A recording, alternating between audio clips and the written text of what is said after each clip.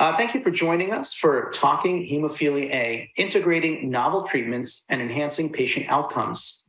During this segment, we will be discussing the emerging approaches for hemophilia A.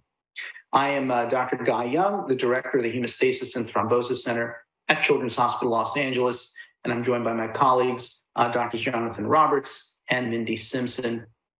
I'm going to start by presenting a case. Um, this is a, an 18 year old who um, had been on factor prophylaxis basically his whole life, um, different products as he was getting from one year to the next as different products became available. Um, and uh, but ultimately, when he became responsible for his own factor infusions at the age of 15, adherence started to become a problem, as I'm sure you've experienced that yourselves.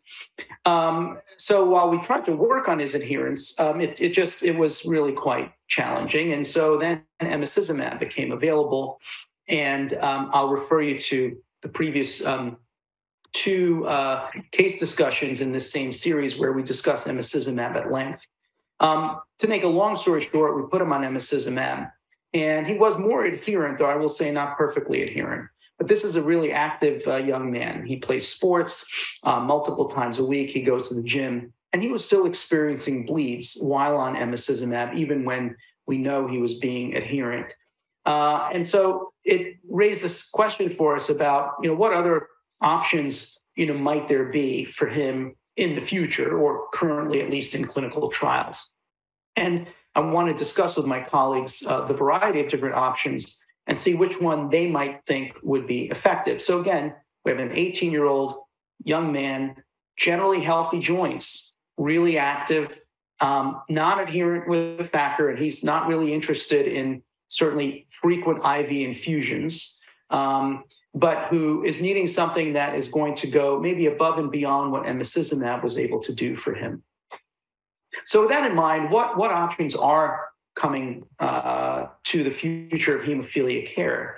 So there is a novel replacement therapy, a novel factor replacement therapy that has been studied, has gone through phase three trials. Uh, data has been presented and actually has been published in the New England, uh, the New England Journal of Medicine very recently, and that's efanesoctocog alfa. This is a modified factor VIII concentrate, modified even more so than the uh, extended half-life factor VIIIs that you may be familiar with. And essentially, it has a much longer half-life. And patients on the trial, and these were adolescent and adult patients who are on the trial, basically lived with a factor VIII level of uh, about 70 to 80% with a trough of around 15%. And that's with a once weekly intravenous infusion. So just a once a week infusion and essentially living with those levels spending about half the week in the non-hemophilia range. Then the other options uh, that are coming down the pike are non-replacement therapies. We break them into two categories essentially: rebalancing agents that rebalance hemostasis in a sense, um, not adding uh, a factor product or a factor-like product, but inhibiting an inhibitor of coagulation. And there are a number of these. One is an inhibitor of antithrombin, called fitusiran. Um, currently, this is in phase three trials, and it is a subcutaneous infusion that would be initiated as once every other month, uh, with the potential for increasing it to once a month, depending on uh, antithrombin levels. There are two tissue factor pathway inhibitor inhibitors, so anti-TFPI molecules, concizumab, marstacimab. Uh, both are also in phase three. Concizumab has shared some of their early phase three data. um, is a daily subcutaneous injection. Marstacimab is a weekly subcutaneous injection. Uh, does come with a, a neat little uh, pen, which is a dosing pen, and the volume of infusion is quite low. So even though it's daily, um, it's certainly not a, a huge burden in terms of how to do each individual infusion. And then the other option would be something like gene therapy, We've heard certainly over the last few years about several factor VIII gene therapies that are being developed. Um, Valoctocogene roxaparvovec, which is the one furthest along, um, giroctocogene fitelparvovec, uh, and lastly, dirloctocogene samoparvovec. So these are all in uh, phase three clinical trials, uh, some further along uh, than others. Uh, importantly, the gene therapies have only been studied in patients 18 years of age mm-hmm. Or older. Uh, I will just say before I turn the discussion over uh, to me and my colleagues together, is that you know all of these have advantages and disadvantages, and depending on the type of patient you're dealing with, depending on whether they have a history of an inhibitor or not, whether they're an adult or not, um, whether they are okay with IV infusions or not, um, whether they have a high appetite for uh, uh, risk, or I should say high appetite, but whether they're risk averse or not, uh, if they have a history of thrombosis or potential risk factors for thrombosis, all of these things come into play when you have a, a menu of options some of which uh, may be safer from the standpoint of thrombosis than others, some of which may be more efficacious uh, than others, and some of which have different levels of the treatment burden, how much treatment you need to do.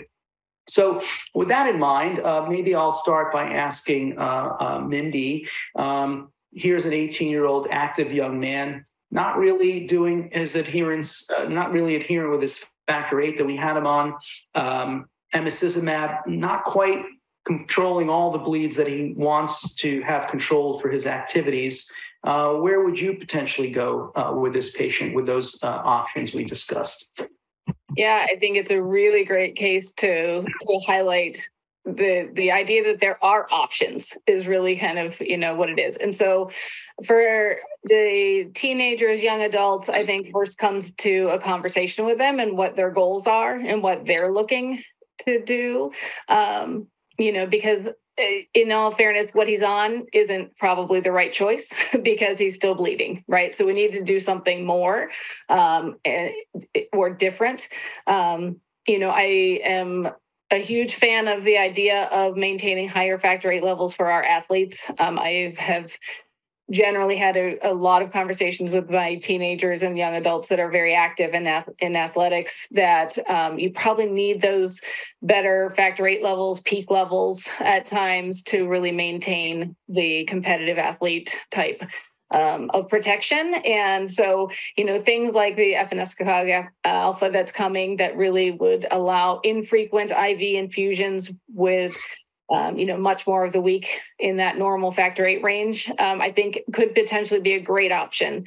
Um, but if they're not going to take it, it's not going to work. And so, you know, if IV is going to be the barrier, then really talking about some of these other these other therapies. So, you know, the the novel non-replacement, the rebalancing type therapies.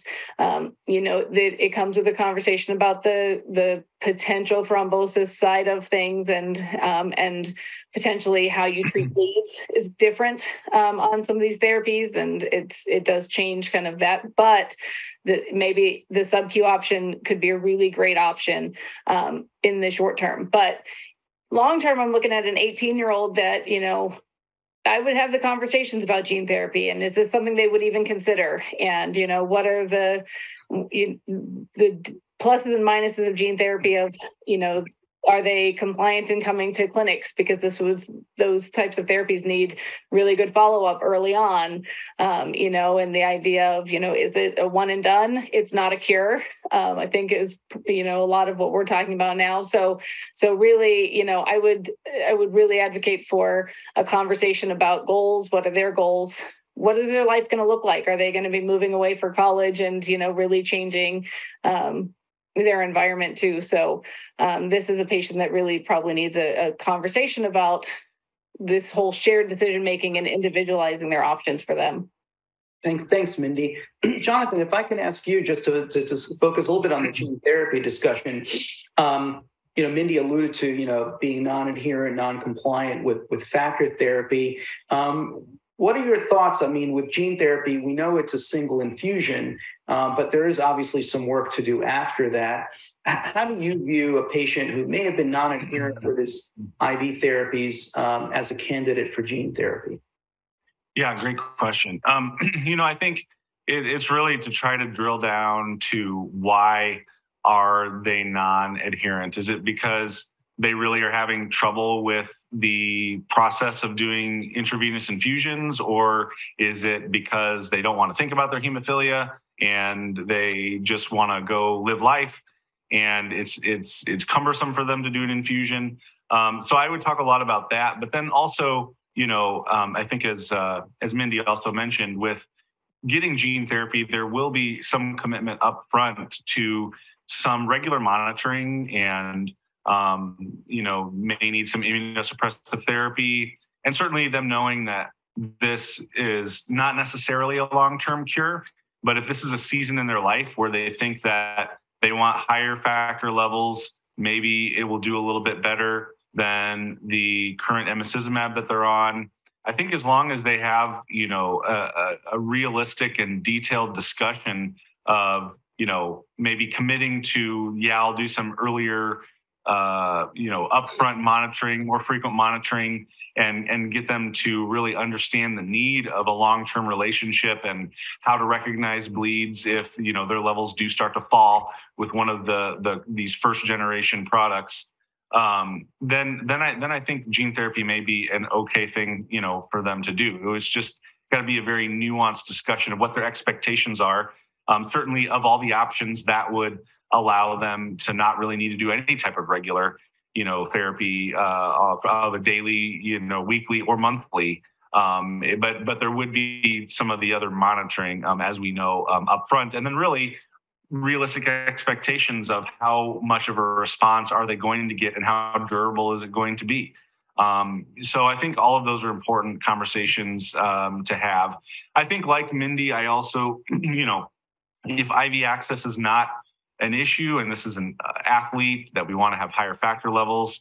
Um, you know, uh, efanesoctocog obviously would be uh, a potential choice for uh, uh actual once weekly uh, therapy, or or even if you're able to tailor it to where you would just maintain normal hemostasis, depending on how active the patient really was going to be. But if it was more of a, you know, they don't mind therapy and they just want less of a treatment interval, then potentially something like fitusiran with once monthly uh, uh, dosing or less frequently. I think you know some of the what we're learning from the phase three data and how the thrombosis mitigation strategies are being looked at um, are are interesting, and I think it'll be interesting to see how that all plays out. Um, obviously, having a causing an antithrombin deficiency being something that can be potentially very thrombogenic and having mitigation strategies if there's maybe you know too much antithrombin knockdown um, are things that are being investigated currently. Um, but that that of all the options if if they didn't want to go through gene therapy but have some sort of treatment option with maybe the the least frequent interval and, and also the question would be how is that going to be comparable to the current you know, emicizumab that they're already on, and would that offer any other bleed protection? I think that remains yet to be seen. Um, you know, doing a daily uh, infusion, uh, so even if it's subcutaneous, uh, may not be, uh, you know, the the best option for a patient that's not adherent to therapy. But that being said, if it's very simple and it's very short period of time and it's non-painful, which I've heard for some of the uh, patients that have investigated the like concizumab, for instance, um, excuse me, that may be that may be an option for them as well. So uh, again, I think the um, the the great thing about the current era and some of these therapeutics is there's lots of room for nuanced discussions of how to meet this individual patient's goals. Um, and and the good thing is, is that you know you're able to change course and maybe try something else if it's not you know meeting uh, the, their particular treatment goals. Um, even if someone gets gene therapy and they start would start to lose expression over time, there's many good options to fall back on, right? And uh, I know patients that have quote unquote failed gene therapy with the first iteration. Um, that there's even investigations looking at what to do with those patients. Are there other potentially next next generation therapeutic options or strategies um, to with a different product are are may, maybe on the horizon uh, in years to come. All right, thank you for that. And uh, I'll just uh, make a couple comments uh, before we have our closing, which is that, yeah, I would not equate non adherence with IV factor therapy that has to be given repeatedly with the fact that that patient wouldn't be a good gene therapy candidate. I, I think following up on clinic visits and getting labs done after a treatment like that is really a different situation than you know, needing IV therapy that, you know, as, as a young man, you're looking at it in the future thinking there's nothing else ever, and I'm going to have to do this IV forever, which is really kind of daunting. And then as far as the other drugs are concerned, I would just say that, you know, having a, a wide menu is going to be great um, because, you know, what works for one patient may not work for another. What might be too risky for one patient may not be a, much of a risk for another patient, um, et cetera. And so, yeah, I think I think we're moving to an era that we never had in hemophilia, where we're going to have not just factor and you know pick which brand of factor you want, but we're going to have several different factor products with different features. Uh, we're going to have several non-factor products with different features as well, um, different modes of delivery, and then of course gene therapy. So it's really uh, an exciting time but uh, it's going to be much more complex and complicated. And trying to figure out who's the right patient for what is going to require us to really understand these treatments very well. And so you are all probably listening because you're trying to learn about all these treatments as well, just as we're learning about them moving forward. And so with that, I'd like to thank you again for joining us uh, for this segment on emerging approaches for hemophilia A. Please be sure to click on the landing page for this activity to claim your AMA, ANCC, or ACPE credit, access supplemental slides, as well as other topics uh, and segments and case scenarios. So with that, I'll close. Thank you very much.